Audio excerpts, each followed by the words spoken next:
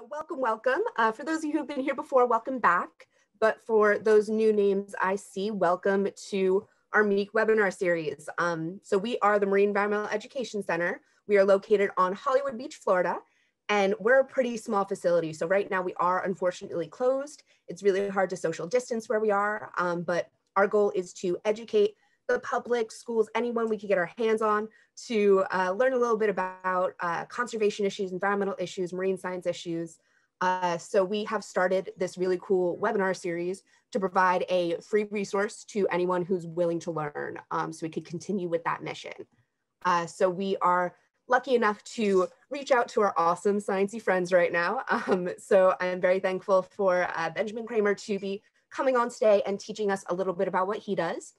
Uh, ben is an algae biologist uh, studying the effects of climate change on harmful toxic producing cyanobacteria in freshwater ecosystems. Um, he works with the uh, New York State Department of Environmental Conservation.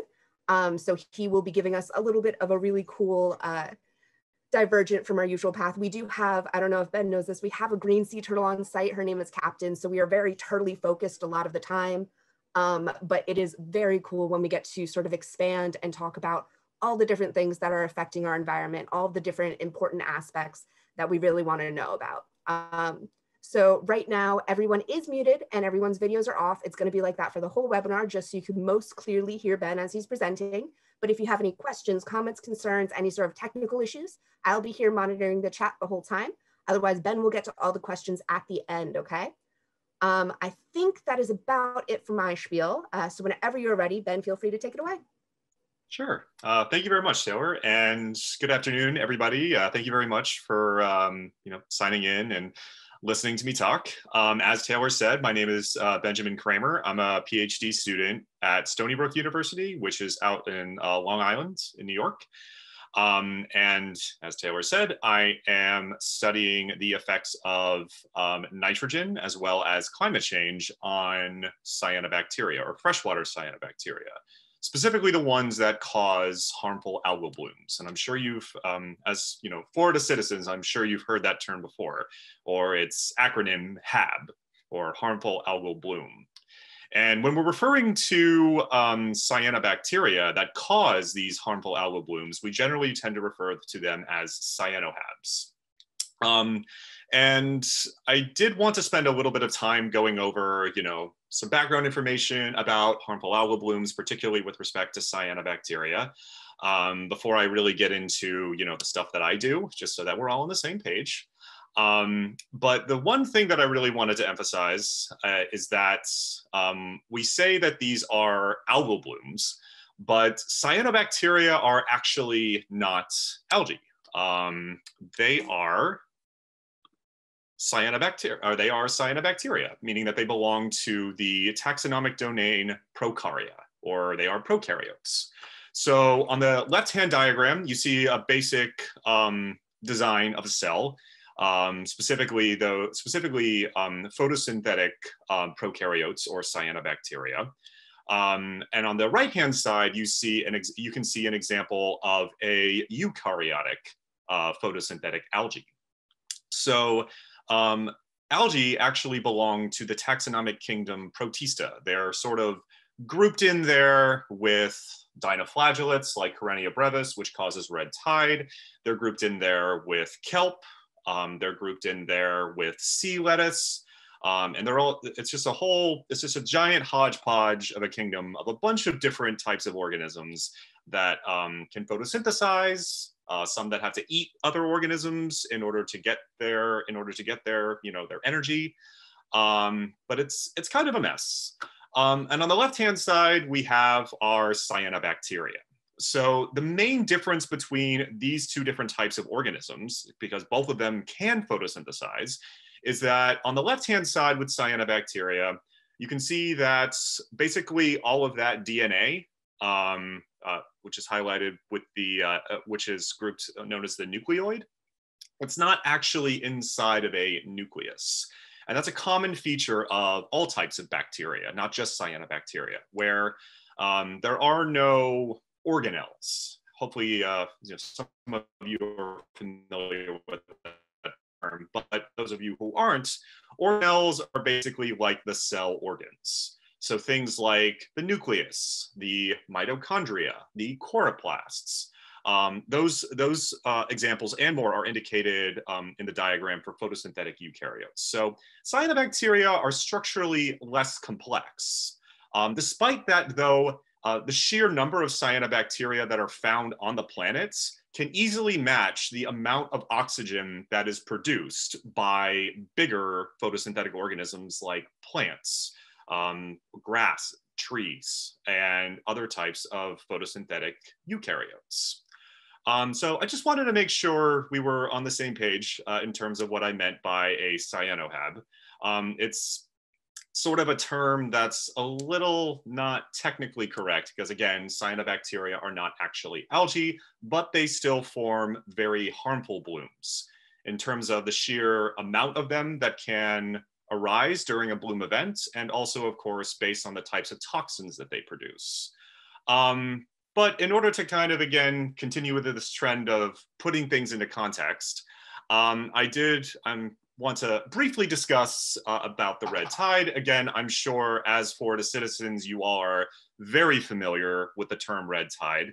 Um, for many people that study harmful algae, Florida is sort of like the ideal uh, place to think about all the types of different harmful algal bloom species that can form. And of course, the these giant swaths of red that you see along our along the coastline, particularly on the West Florida shelf, are just so iconic in terms of really emphasizing the severity of these blooms.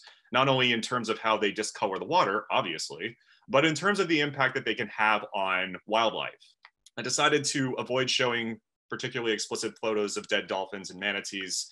Um, so I decided to just focus on, not that it's it's still sad, but these these massive clusters of fish that have all um, died as a result of these blooms, presumably. And these red tides are caused by these little critters that are photosynthetic eukaryotes known as Karenia brevis. And they specifically produce the toxin brevetoxin, which is a neurotoxic shellfish poison. And that's not just harmful to um, wildlife, particularly marine life, wildlife, but it can also be very harmful to us as well if we were to eat contaminated food, um, particularly shellfish. So that's the classic, uh, iconic version of what we think of when we think of a harmful algal bloom. Um, but when it comes to a cyanohab, the water obviously turns green. And these are not just isolated to specific parts of the world. So even though the red tide is kind of like the ideali- idealized version of a harmful algal bloom, you generally tend to see them right along the coastline.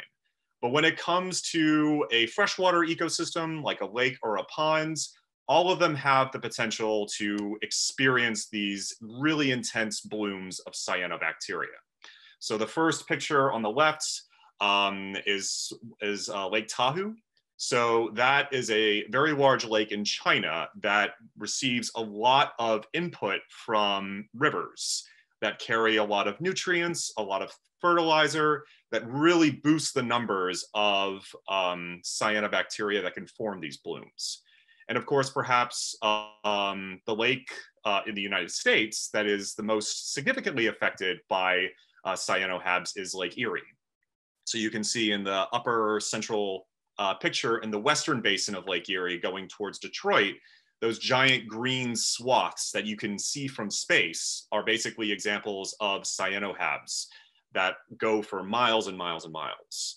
Now, obviously, this can be a problem not just for the wildlife, but also for humans as well. So, obviously, you do not want to be dipping your hands, like, you know, for that dramatic effect that in that picture there, you don't want to be dipping your bare hands in that. Um, but even being in a highly, uh, a heavily urbanized area like New York City, it also has the potential to be very problematic. Um, so one thing in particular that people are starting to be concerned about is the potential for the toxins that these cyanobacteria produce to aerosolize or get into tiny little water particles that can, you know, travel a fair distance, um, you know, maybe get into the respiratory tract of people that are, you know, walking around that lake or just living within a few miles of that lake. And obviously, as we know, in New York City, millions and millions of people live on top of each other. But what is actually making that water green? Well, turns out it's a whole hodgepodge of a bunch of different types of species. Um, so within a single patch of heavily green water that has effectively turned the texture of paint, um, you can have a bunch of different species. Uh, the upper left-hand uh, picture is a representative of a group of species known as Microcystis. Uh, that's a, a, a, genus term that's used to describe a bunch of different species. Um, and Microcystis in particular is perhaps kind of the equivalent of uh, Karenia brevis in the cyanobacterial world in terms of its um, how nefarious it is. And uh, it's also very abundant in all of the world's freshwater ecosystems. Uh, but there are many others that can also form blooms, particularly uh, uh, members of the genus Planktothrix, as well as members of genus Anabaena, and also genus Aphanizomenon. And also, uh, one thing to really point out, it's kind of hard to see uh, in these pictures, but on the right-hand side, um, organisms that belong to genus Anabaena and Aphanizomenon have these really interesting looking cells. They're, they're a little bit bigger than the other ones around them. Um, remember these, they're known as heterocysts, and that's actually one of the main focuses of my, um, of my PhD. Um, so it's not just, um, it's not just the cyanobacteria themselves uh, that are causing uh, their blooms to be harmful just by being there. But as I've said before, it's also the types of toxins that they produce. And it turns out that cyanobacteria can effectively produce a Swiss army knife of a bunch of different types of toxins. Um, the most uh, nefarious and the, again, the most kind of the most well known of these toxins because it's so abundant in the world is known as microcystin. And it's uh, specifically known as a liver toxin. And another type of toxin that sort of performs the same sort of damaging function to people that have ingested it is known as cylindrospermopsin, which can uh, damage the liver and the kidney if you ingest uh, a sufficient amount of the toxin. And there are also other types of toxins that uh, cyanobacteria can produce, um, two of which are known to have a neurotoxic effect. One is known as saxitoxin, which is a paralytic toxin that was actually um, manufactured and developed in World War One. Fun fact, uh, was uh, deployed uh, in the trenches uh, to, you know, during the time when biochemical weapons were okay to use in wartime. And then there's also anatoxin. Even though it is a lot less uh, complex than any of these other toxins, it's actually incredibly um, potent and was originally characterized as very fast death factor uh, back in the 70s before they were able to figure out what it looked like. Um, so because there are so many different species of cyanobacteria that form blooms, because they produce so many different types of toxins, because they are in our drinking water supply, it's obviously a huge environmental concern. Um, and again, I'm not going to, you know, blast you with a bunch of pictures that are you know gratuitously showing you a bunch of dead animals and a bunch of dead dogs because dogs don't know any better which is one of the main reasons why warning signs are generally put up around lakes in heavily developed areas particularly in the united states.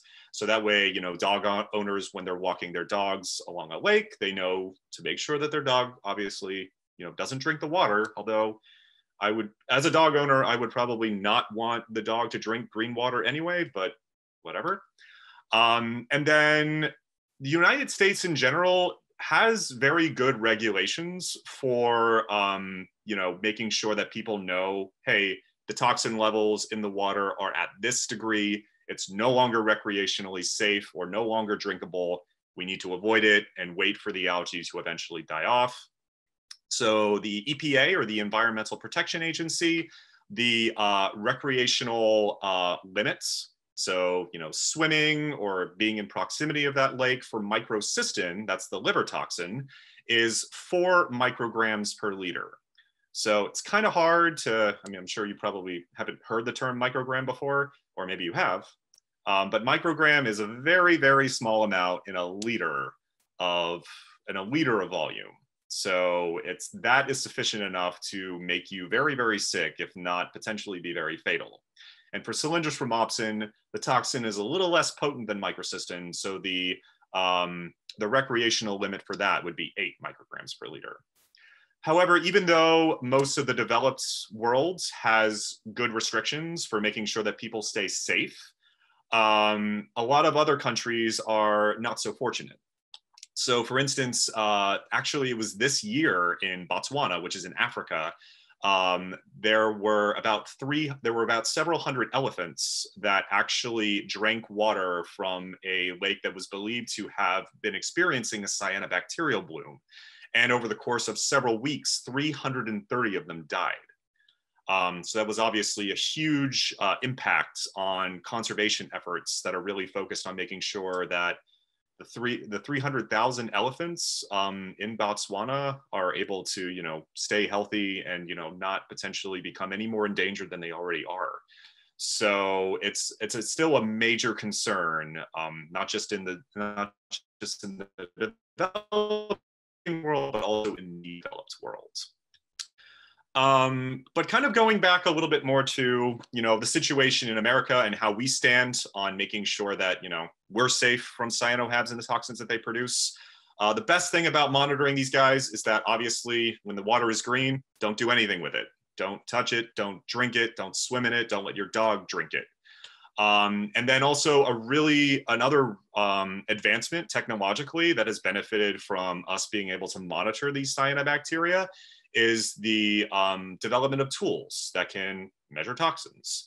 Uh, the best one is, or arguably one of the best one, at least from in terms of keeping people safe, is known as an ELISA. So this is an enzyme-linked immunosorbent assay. So basically, you can get a water sample, and in the course of you know anywhere between four to five hours, you can figure out the toxin concentrations in that lake. And then, you know, over the course of a day, you can let the state know, hey, this lake has a lot of toxins in it. It's not safe uh, to do anything recreationally within it. And then they will let the general public know. Um, however, there are still many shortcomings. Um, so for instance, uh, as I'm sure most people know, you know, when you eat um, the top, when you eat uh, shellfish that's contaminated with toxins um, produced by red tide, that obviously is um, not, that's obviously going to make you uh, very, very sick. Um, but in terms of how uh, cyanotoxins can affect uh, people or other wildlife when they consume contaminated food, it's a lot less clear. So that's a huge um, gap in our knowledge in terms of understanding how how toxins can travel through different organisms to affect other organisms that eat those organisms. Also, a lot of the toxins that cyanobacteria produce can also degrade uh, very rapidly. Um, microcystin is relatively stable, but um, anatoxin is not. So even though it's really potent, it's really hard to detect uh, in the lakes uh, or in lakes and ponds. And of course, as I mentioned before, um, there is also a lot of concern about whether uh, these toxins can aerosolize. And compared to brevetoxins, which are produced by the red tide, very little is known in terms of how these toxins can get into water droplets that can travel, you know, anywhere between a few hundred feet to maybe even a few miles, and how they might be able to affect the surrounding populations. And then, of course, um, one thing that I wanted to emphasize is that even though America as a whole is doing a good job at monitoring these cyanobacteria, um, the monitoring and alerting efficiency is actually pretty state dependent.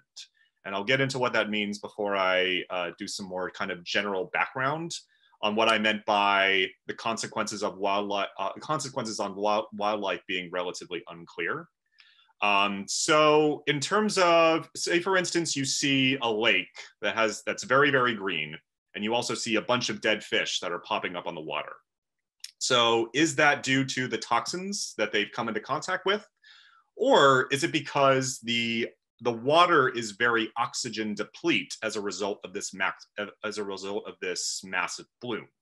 So when oxygen levels get very, very low, we define that water system as hypoxic.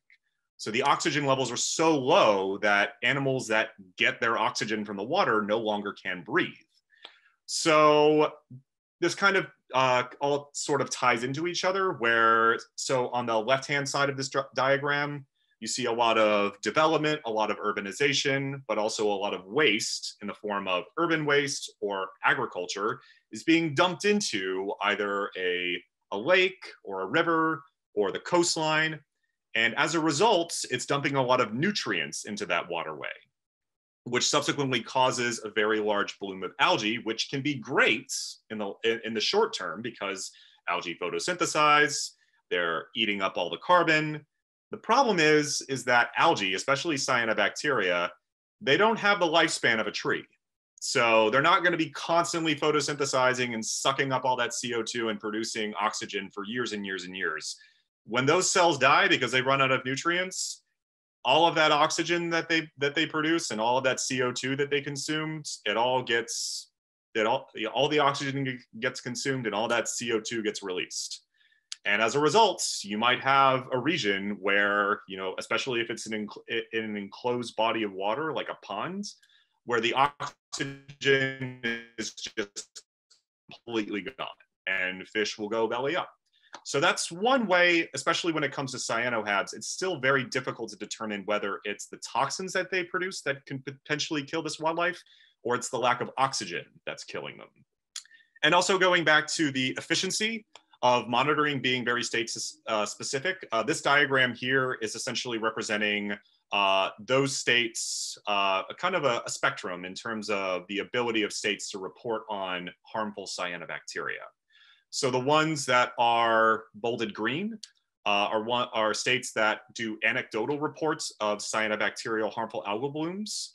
And the ones that have those crossed lines in them are states that have, you know, uh, the most efficient monitoring system. So if you have a green state with those lines over them, they are, you know, the state is very involved in making sure that, you know, beach closures are reported and are also, you know, emphasizing health advisories. And then finally, you have the tan ones, which are having no anecdotal reports of cyanohab poisonings.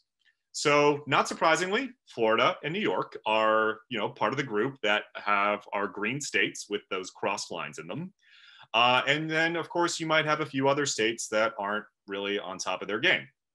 Uh, I'm not particularly surprised that Tennessee is part of that cluster of states that is not really, you know, on the state level, it's not very good at monitoring cyanobacteria. I was actually at a conference um, last year I met someone from the Department of Health uh, in the state of Tennessee, and they said that the only time that they report a cyanobacterial bloom is when somebody uh, calls and says that their cow dropped dead from drinking the water.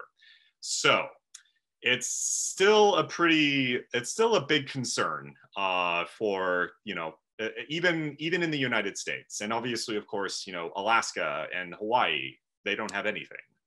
Um, so it's still something that definitely needs to be worked on.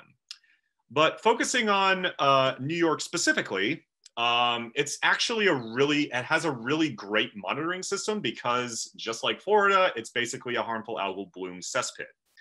So we only really need to look at Long Island itself to really understand that. Uh, so this diagram right here is essentially representing the different types of harmful algal blooms that have been reported on Long Island alone. So this is just Long Island's. This is not, you know, the other 95% of New York, which probably has a bunch of other cyanobacterial problems. But even on Long Island alone, you can see that the sort of cyan circles that you see uh, essentially represents um, cyanobacterial harmful algal blooms. But we also have many reports of um, blooms of algae that can also produce saxitoxin or the paralytic shellfish poison, which is highlighted in red. Uh, you generally tend to see that a little bit more on the eastern uh, uh, eastern coast, uh, eastern side of the North Shore. And then a really big uh, problem that Long Island faces, particularly in the South Shore body of water, um, that's a little bit brown, or it's a, a light shade of brown. It's known as Great South Bay. Uh, that is produced by what's known as brown tide.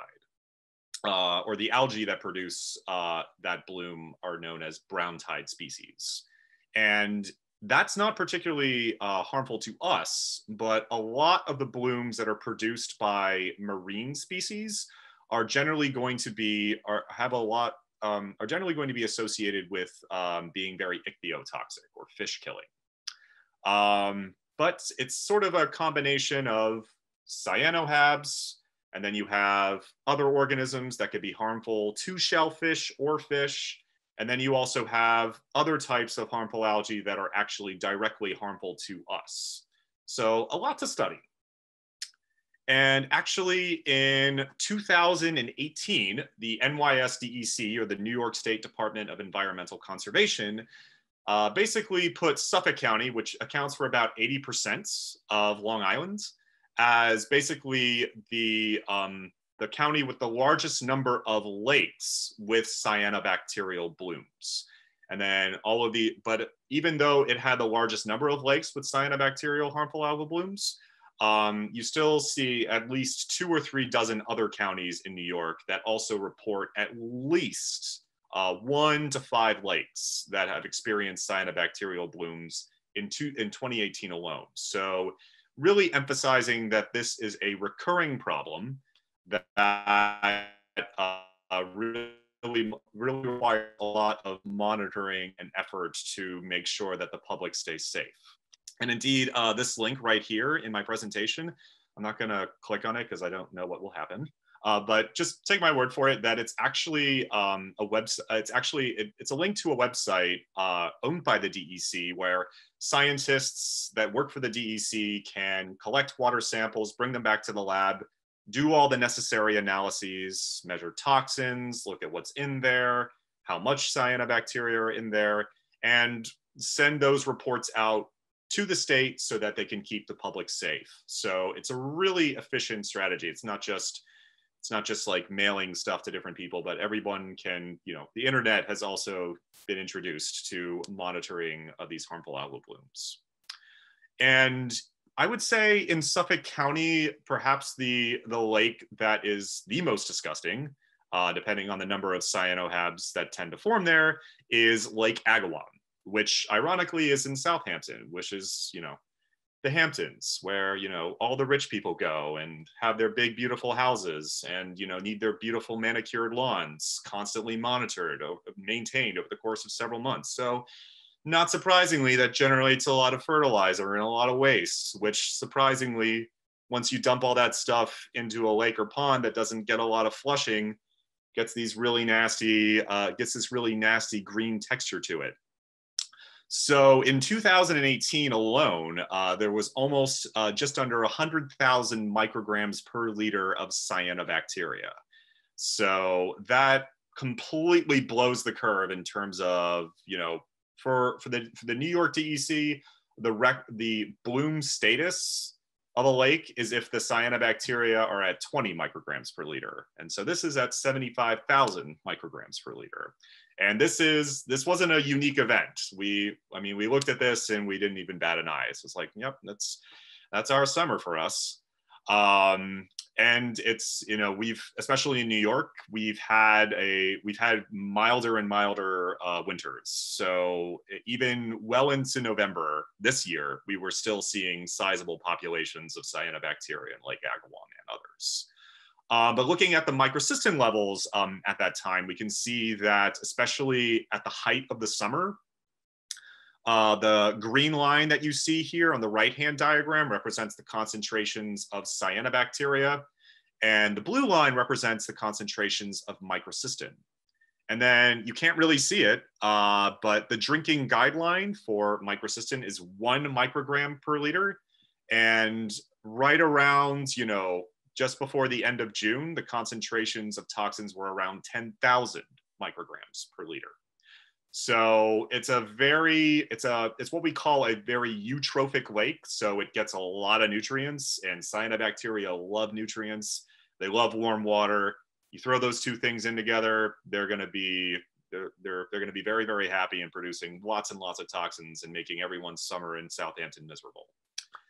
Um, so as a result, uh, the DEC, uh, in conjunction with actually Governor Cuomo, um, responded actually last year to help start up a strategy to deal with lakes when the blooms become too too high.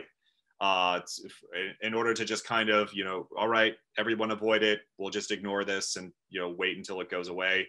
Um, so this particular, um, this particular setup is known as a uh, mobile harvester system. So basically what it was doing, um, this was kind of in September, October of 2019 last year.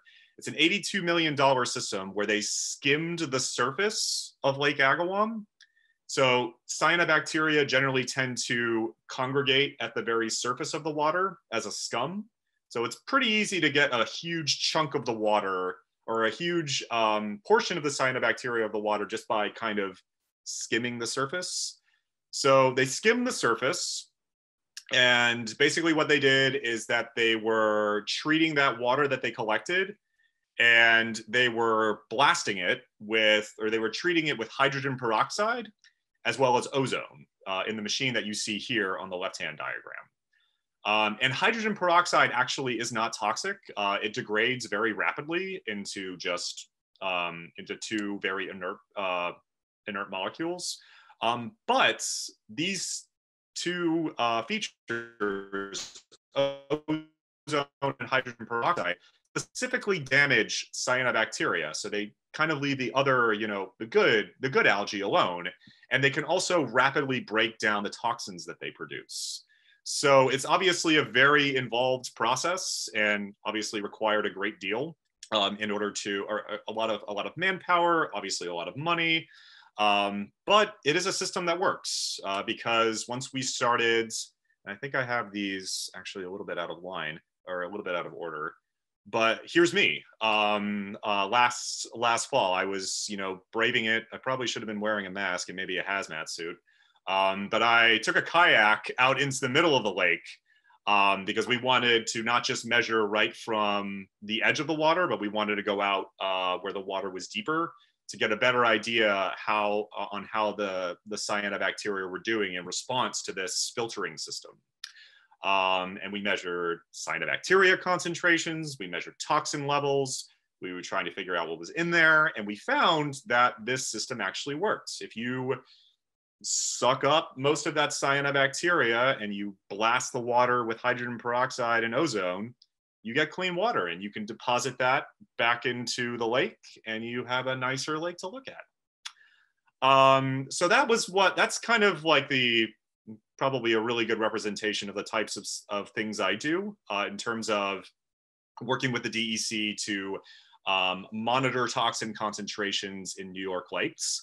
But a new thing that we've actually started in the last few years is actually looking at the accumulation of cyanotoxins in shellfish. So as I said before, and as I'm sure most of you are familiar with, um, toxins that algae produce have the ability or have the tendency to concentrate inside filter feeders like the oyster that you see here.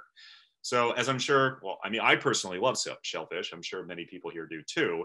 Um, not being able to eat these guys or eating them and constantly wondering if you're going to maybe die is obviously not a great not a great feeling to have when you're eating such delicious food. Um, so being able to actually um, you know in most cases with marine algae you know hatcheries and aquaculture facilities are shut down when toxin levels inside of these shellfish get high enough but no one is really reporting on whether cyanotoxins can get inside of these shellfish so that's something that we've recently started to work on during the summer, during the summers of the last few years. And we have actually detected concentrations of microcystin inside of these shellfish. But again, how how um, toxic it might be to organisms that eat these shellfish, including us, is still very unclear. So finally, I want to talk a little bit more about me and the types of work that uh, I do specifically for my PhD. Um, so I am advised by Dr. Christopher J. Gobler, who does, he's pretty much the harmful algal bloom guy out on Long Island. And as I've said before, my main focus is to look at the effects of eutrophication as well as climate change on cyanobacterial diazotrophs. And my experiments often begin with um, deadlifting water uh, filled with cyanobacteria and their toxins. That's usually how my summer mornings begin. I take these giant 20 liter carboys, I have a have a wader on, obviously not as well secured because it's not my waiter. Um, but I'm filling these uh, I'm filling these carboys up with shamrock uh, colored water, and I'm bringing them back to a lab and seeing how nutrients and uh, climate change factors affect these algae. And in the end, uh, this is actually pretty run of the mill for most um, for most uh, marine scientists. We start, you know, we, we spend our childhood thinking that we're going to study, you know, seals or whales, and then we spend, as I'm sure Taylor can attest to, you know, taking class at Stony Brook. Um, we spend, you know, most of our we spend most of our time just basically face uh, filtering water and measuring whatever gets stuck on there. Um, but actually, my very first uh, experience, uh, or my own, my very first project was actually looking at the Lake Okeechobee cyanohab uh, bloom back in 2016. So, as I'm sure, again, people in Florida, they probably know what Lake where, where Lake Okeechobee is and what it is. But it's a 30 mile, 30-ish mile uh, wide lake in the middle of the Floridian uh, Peninsula.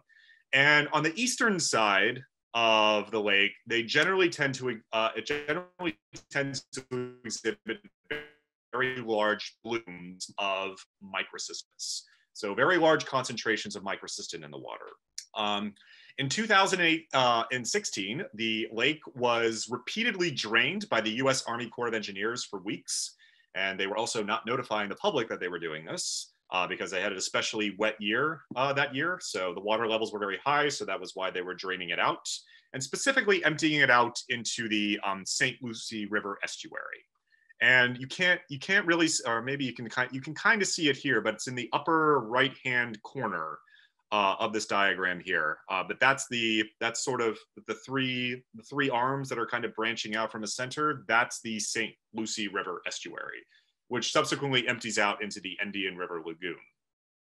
Um, and it wasn't really until kind of around the 4th of July in 2016 where the governor finally declared a state of emergency uh, for recovering monetary losses, at least, uh, but not for uh, health protections or stopping discharges. So they kept kept doing that for a little while, and as a result, pretty much ruined everyone's Fourth of July especially out in the Indian River Lagoon. So even though this is an estuary that is brackish with, you know, certain, it's got some ocean water in there too. Even um, various waterways, various canals had this sludge, uh, slime, scum that was forming on the surface of the water. And even Bathtub Beach uh, had toxin concentrations around about four, just over 400 micrograms per liter. So not even beaches exposed to the open ocean were safe from being exposed a little bit to microcystis because it was an especially bad bloom. So as a result, uh, my advisor really wanted me to get down there and kind of impromptu pushed me on a plane and sent me down a thousand miles and just was like, get on a boat, see what's there. Um, and this was, um, I went in July, uh, on July 8th to July 10th. And then uh, again on September 26th to September 29th, I sampled Lake Okeechobee, which is the upper uh, left-hand diagram, and then St. Lucie River, which is the lower left-hand diagram. And basically looked at uh, collected samples, uh, looking at chlorophyll levels, as well as toxin concentrations. And you can see obviously that I spent a lot of time out uh, in the sun because my forearms are completely baked. I was, I was peeling for a few days. Um, but uh, basically what we found, and this is actually a paper I published back in 2018, is that the upper, uh, the, the topmost diagram that you see that you see is basically looking at microcystin concentrations going from Lake Okeechobee all the way out to the St. Lucie River.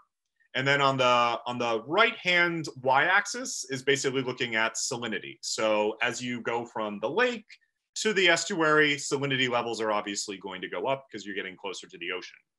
And what we found was that salinity um, seemed to have a, a, a protective factor in not only causing the toxins to disappear or, or get smaller and smaller, but we also noticed that the chlorophyll levels of microcystis were also going down.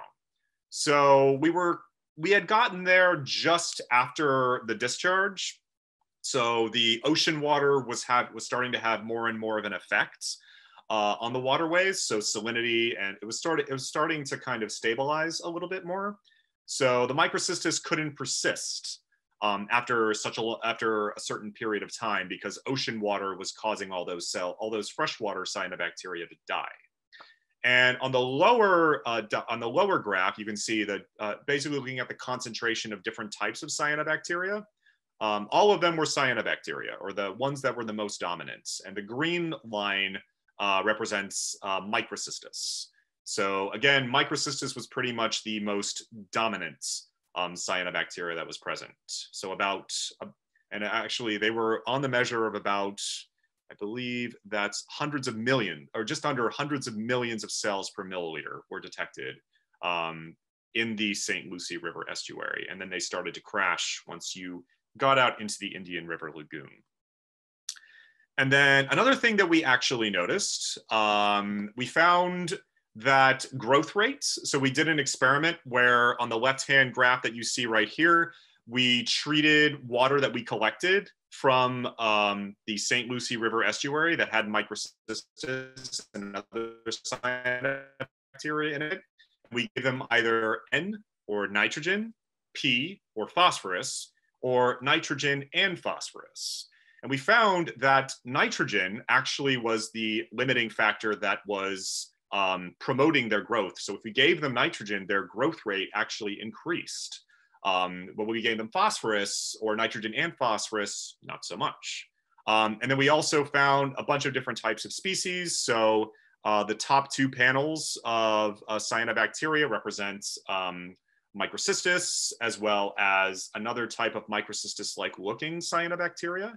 And also the lower left, uh, the lower right hand cyanobacteria represents um, or sorry, Anabaena. So other types of cyanobacteria were present. And we also, I mean, we detected microcystin uh, in the water, but we also found the genes that microcystin, uh, the genes that produce microcystin. And we also actually found uh, the genes that actually are responsible for producing that paralytic uh, toxin, saxitoxin.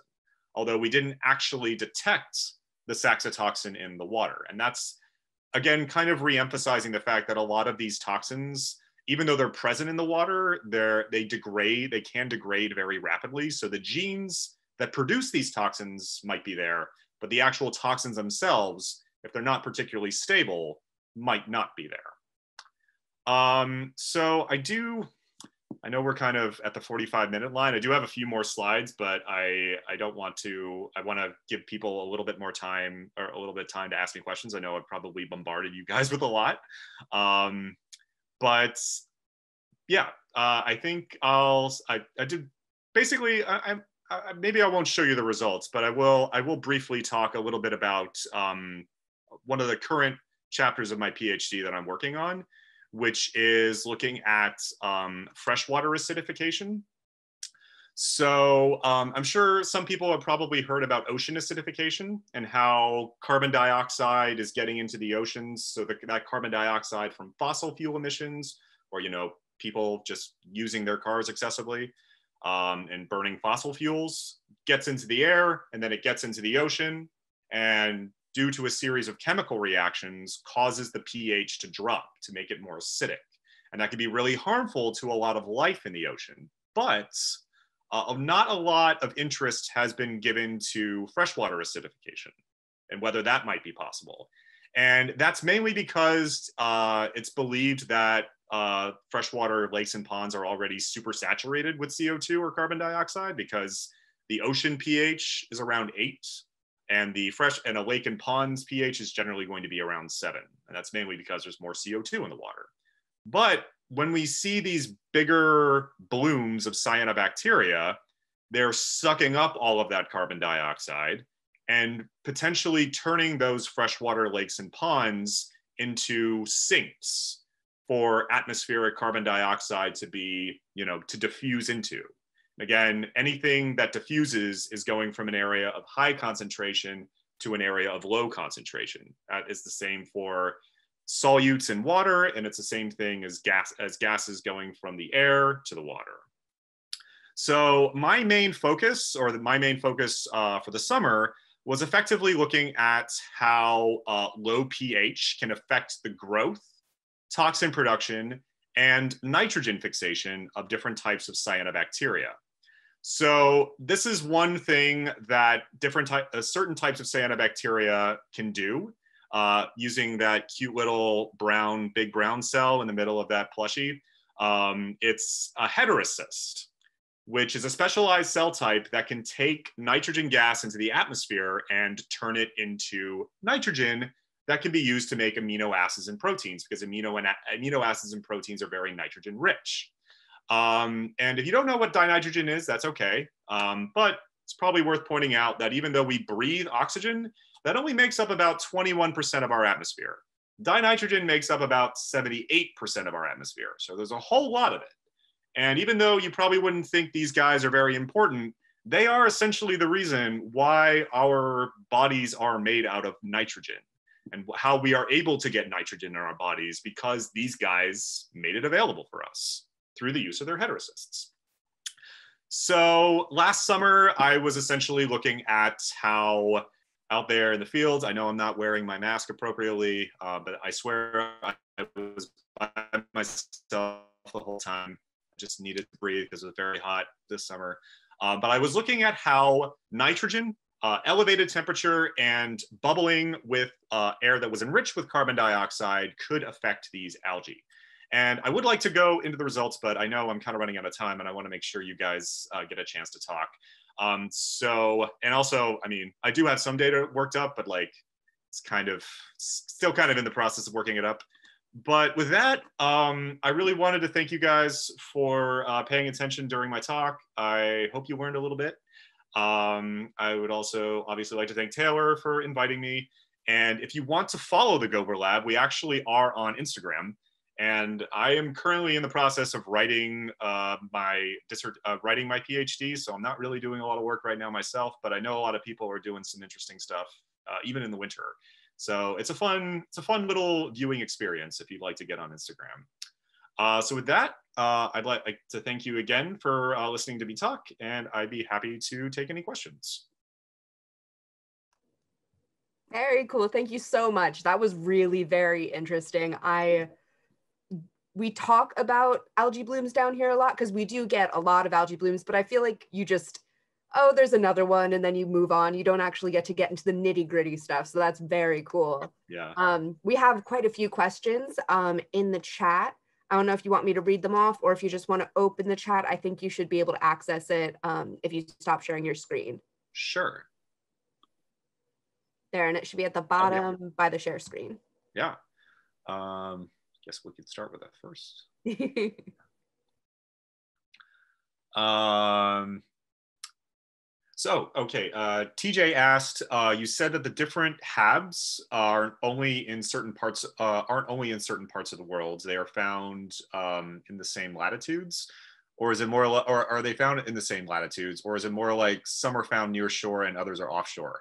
Um, that's a really good question, TJ. Um, so they are trying to come up with the right way to say this in terms of geographic and geographically speaking, but it's believed that most most harmful algae generally tend we generally tend they generally tend to become a problem for the public um, when they are right near shore. So they're kind of hugging that coastline.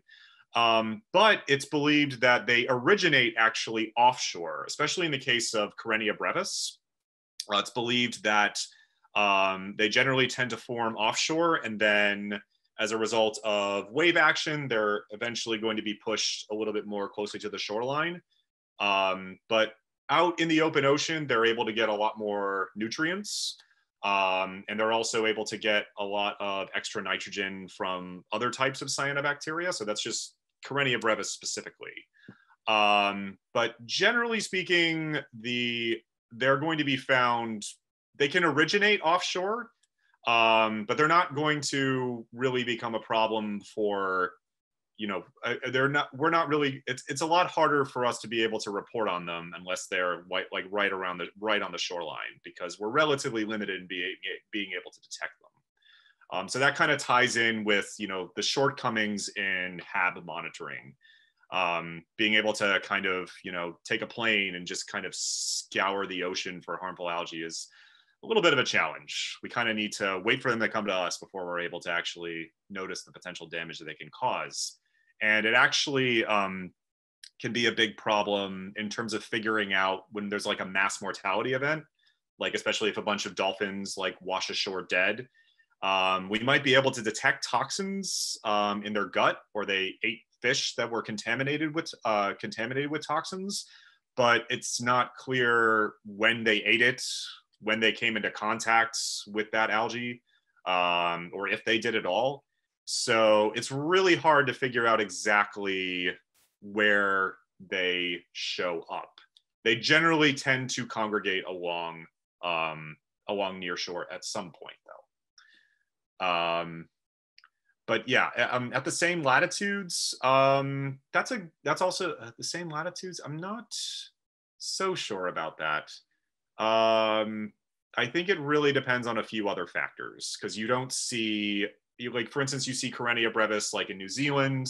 Um, you see it in a few other parts of the world, obviously Florida, sometimes North Carolina, um, but you don't see it that much in California. And I, I think that's really a question in terms of figuring out what causes different species to form in different parts of the world. Uh, hopefully I answered your question there. It was a little, a little bit long-winded. um, Rachel, uh, so can home ponds such as, uh, uh, as and such get cyanobacteria blooms? Should homeowners be concerned? If yes, can we do anything to prevent or reverse it? Also a good question. Um, so with a, if it's a sort of artificial ponds, I mean, there's no reason. It's it, it really kind of depends on there's always going to be something, some type of bacteria that's going to be in your pond, and that bacteria is not necessarily bad. I think if you, it would be the equivalent of just letting like nitrate and other types of nutrients build up in an aquarium and not cleaning that water. If you're not recycling that water and filtering it out and maybe making sure that it stays mixed, then yes, you can totally have a cyanobacterial bloom in there. Um, when it happens, um, just start filtering your water. Or you can also put some hydrogen peroxide. You take your fish out first, put your hydrogen peroxide in the ponds, and then everything dies. Um, Taylor, uh, how likely is it when there's an algae bloom that there will be a resultant dead zone? Uh, do they still occur? Just not as long as marine environments when there's plenty when there's plenty of mixing. Uh, also, very good question. Um, I personally even in Lake Agawam, I have measured dissolved oxygen levels there myself, and I've never really seen it get hypoxic. I'm not sure why. Um, I think, and, and, and that's a lake that's pretty much closed off as its own independent thing. Um, it's possible that I, I think maybe once winter comes along, you start to get a lot more mixing because uh, a lot of storm and wind activity. You might be able to get enough oxygen in there by physically forcing it in so that you know there's enough oxygen where it doesn't get hypoxic um, but that can it it it, it, it having an algae bloom and doesn't always necess- doesn't always result inevitably in a dead zone is what i'm trying to say if you have enough mixing, um, either by you know the, either by currents or by wind activity, you can still have enough oxygen to make sure that none of those animals in there die too. Yeah, sure. Uh, Carly, is it possible to get an algal bloom in an aquaponic system? Uh, yes, absolutely. Um, so a lot of uh, I know a lot of aquaculture facilities and a lot of other a lot of other facilities that maintain like you know aquatic organisms like they definitely need to when they take that water like out of a like a near shore estuary or whatever they uv the hell out of it um, so they are definitely they are sterilizing it as much as possible before they um, supply it to whatever they're trying to grow. So yes yes absolutely. Uh, if you got water and nutrients, doesn't matter if it's artificial or not, you can definitely have a cyanobacterial bloom. Um, Rachel, is it uh, if it is rich in nitrogen could habs potentially be harvested and turned into fertilizer? Or can it be used as maybe something helpful? Excellent question um, with habs i don't know.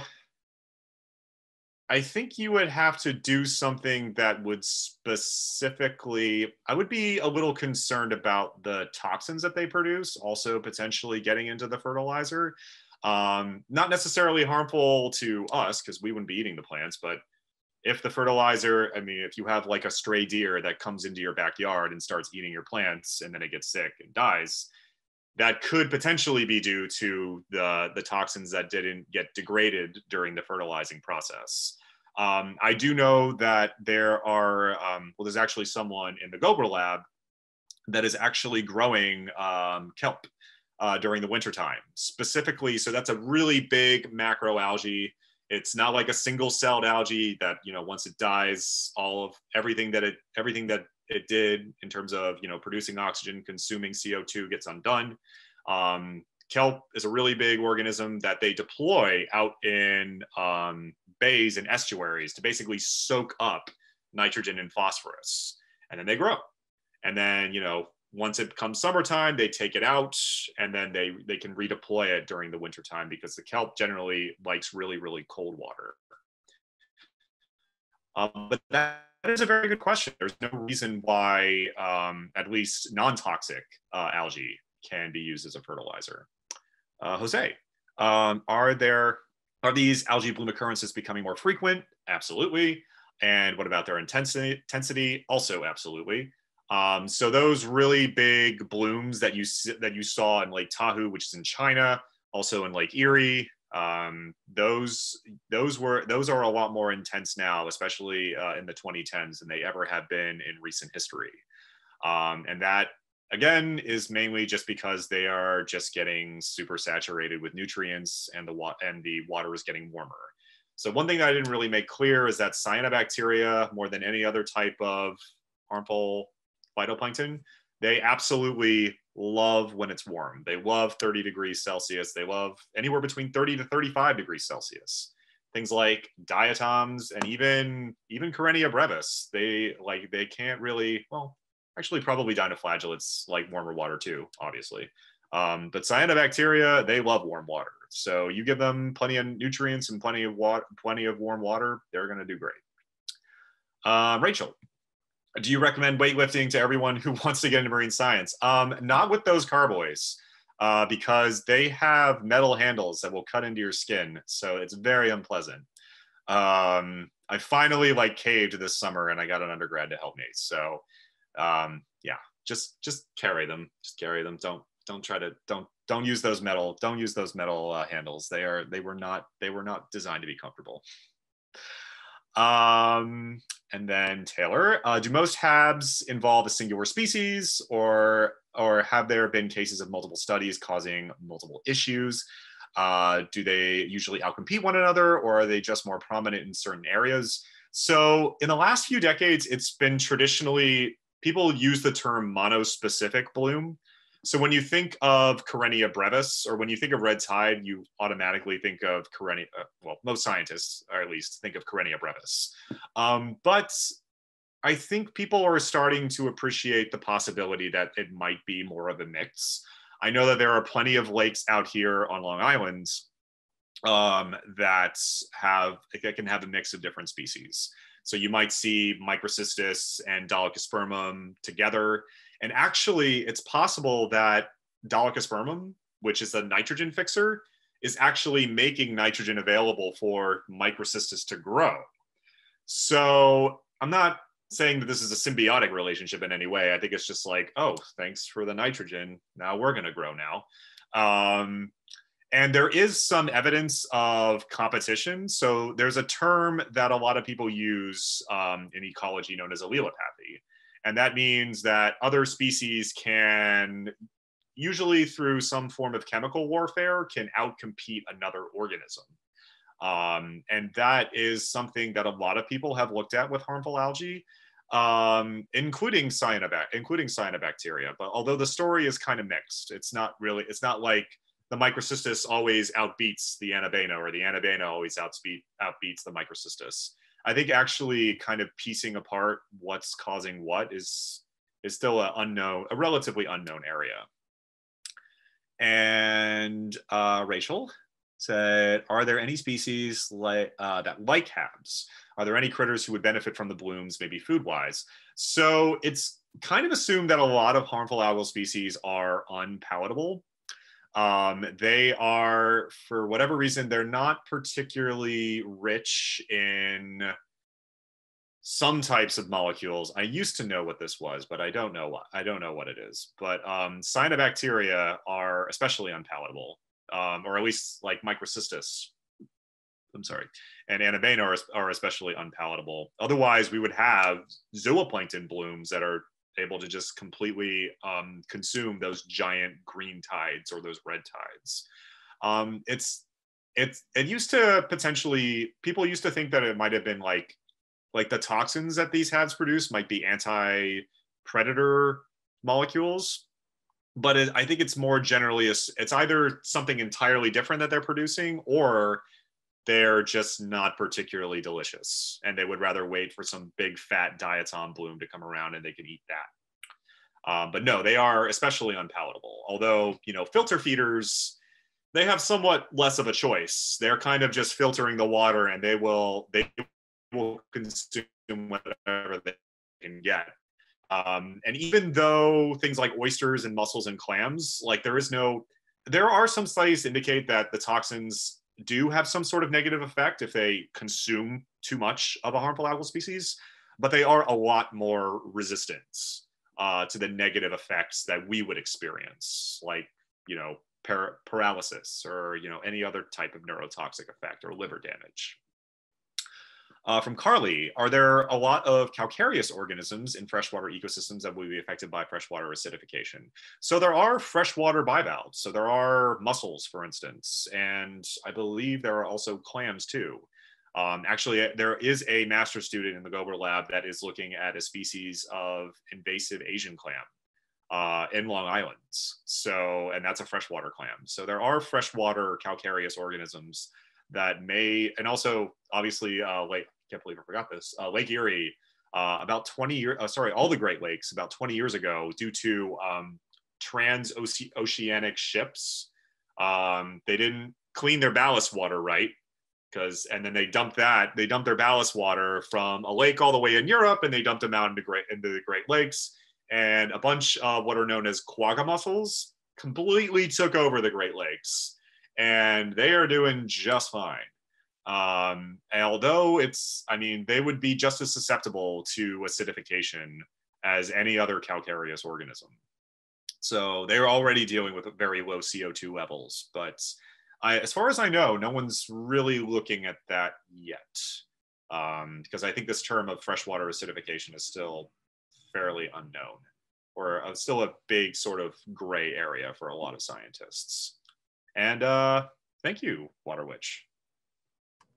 Yeah, I think that is the last of the questions. Um, but if you do think of any later on, uh, feel free to email us at meek, M-E-C at nova.edu and we will pass them right along to Ben because God knows I cannot answer a lot of these questions. It gets very technical, very cool. Um, thank you so much, Ben. We did record this, um, so we will be posting it onto our YouTube channel if you missed the beginning or if you want to share it with anyone, your class, etc. Um, I'll send you a link when it's up, Ben. It, we do a, a, brief editing so no one has to listen to us chit chat at the beginning. Um, otherwise, we have one more uh, webinar for this month. Uh, this Thursday at 3 p.m., we are going to be speaking to Gina Clementi um, all about uh, BRUVs and uh, the Global FinPrint. Um, so it's a lot about shark biology, um, conservation, and all of her efforts um, with her lab. So that'll be really, really cool. Um, again, we're very excited to be expanding our repertoire outside of turtley things. Uh, otherwise, I think that's about it for us. So thank you so much, Ben. Thank you everyone for coming today. Thank you. Thank you all. Thank you, Taylor. Bye guys. Have a good one. Stay safe. Yes, absolutely.